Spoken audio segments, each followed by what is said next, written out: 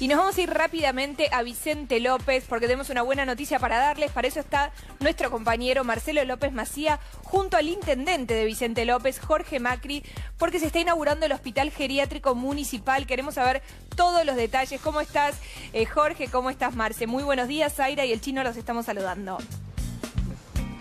Hola chicos, buen día. Dos años y medio de trabajo. Jorge, ¿por qué pensás que este es el mejor hospital geriátrico de la Argentina?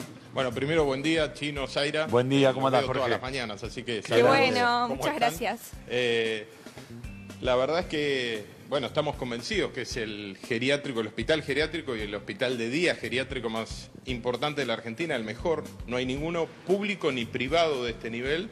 Tiene que ver con varias cosas, tiene que ver con la calidad del edificio, la calidad de los espacios públicos, la cantidad de metros cuadrados dedicados a que las familias puedan visitarlos. Estamos viendo una vieja casona reciclada integrada con instalaciones nuevas. Claro, ahora estamos recorriendo lo que era el viejo geriátrico, un geriátrico tradicional donde había sala de hombres, sala de mujeres, estábamos viendo la, la capilla recién que estaba en medio.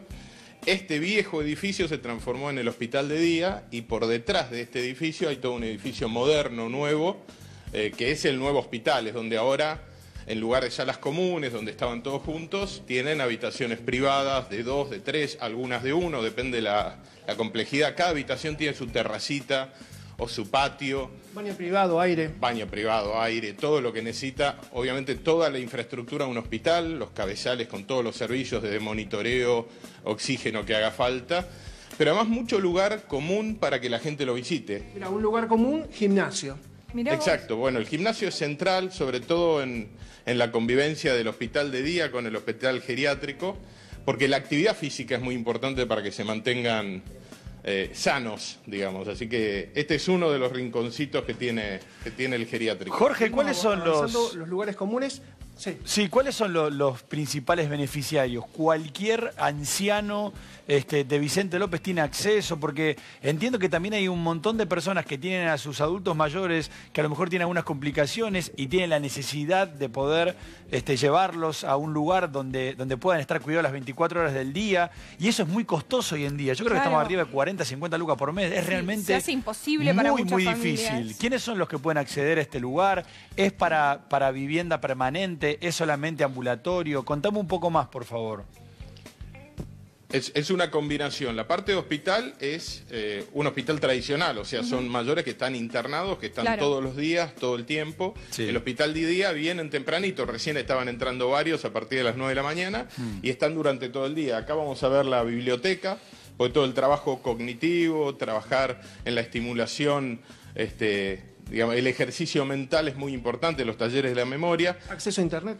Sí, todo lo que es Internet, tecnología es fundamental. Hoy la verdad que se manejan con la tecnología muy bien, pero te diría que para quién preguntabas vos. Claro, ¿y cómo eh, acceder? Obviamente para todos, hmm. para todos. Lo que hacemos es tener un criterio de admisión muy objetivo. Lo decide un equipo interdisciplinario que evalúa la necesidad médica y la necesidad social. Y no metemos otras variables, no es el amigo de mi amigo ni yo pidiendo, porque cuando vos tenés muy buenos servicios públicos que son gratuitos, nos pasa lo mismo con los maternales eh, municipales, con los jardines de infantes, donde inclusive tenemos sistema educativo Montessori, por ejemplo. Buenísimo. O el Paula Albarracín, que es nuestra secundaria pública municipal, que es, yo creo, la escuela municipal mejor, o la escuela pública de la provincia mejor, así lo dicen los resultados a aprender muy alto. Lo difícil es cómo definís quién entra, porque en definitiva está definiendo quién no entra. Es que me imagino que debe ser no meter el amiguismo. Claro. Chicos, yo les quiero mostrar algo. Bueno, acá hay un aula, un microcine, ¿no? Pero les quiero mostrar para que ustedes vean cómo son las... Eh, mira, vamos para el patio para que vean cómo son las habitaciones de cada uno. Sí, Marce, porque... Para que vean eh, cómo se integró la, vieja casona con... Mira, si, pasamos cómo se integró la vieja casona con las nuevas instalaciones. Fíjate lo que son los departamentos. Todos con baño privado, todos con aire acondicionado. Y fíjate lo que es el departamento que disfruta cada uno. Claro, los que, tiene, los que están en planta baja leía que tienen acceso al jardín, como que ya directamente abren la puerta y están en todo lo que es el espacio verde, que encima en Vicente López es tan lindo, ¿no? Hay tantos árboles y se ve tan lindo. O sea, realmente parece un hotel. Es, increíble lo, que estamos viendo. Qué Sí, bueno, allá, por ejemplo, se puede ver una, una de las terracitas con sus plantitas, cada uno se va apropiando de, de su propia terraza y la idea es justamente esa, que tengan sus lugares, que no estén apilados, que puedan tener su vida privada. Mira, la medida de éxito más importante para mí de este geriátrico es que hoy los visitan el doble de familiares que los visitaban antes. Mira vos. Claro, porque da Porque gusto, cuando vos ¿no? tenés un, Claro, un claro. lugar lindo, exacto, vos te animás a venir con un bisnieto, con un nieto, cuando, cuando está ahí tenemos una señora en una ventana que está mirando. Este, ¿Ya están viviendo ahí, nada, Jorge? eh, La verdad que... Ya- sí, sí, sí, sí. Hay 84 camas completamente habilitadas.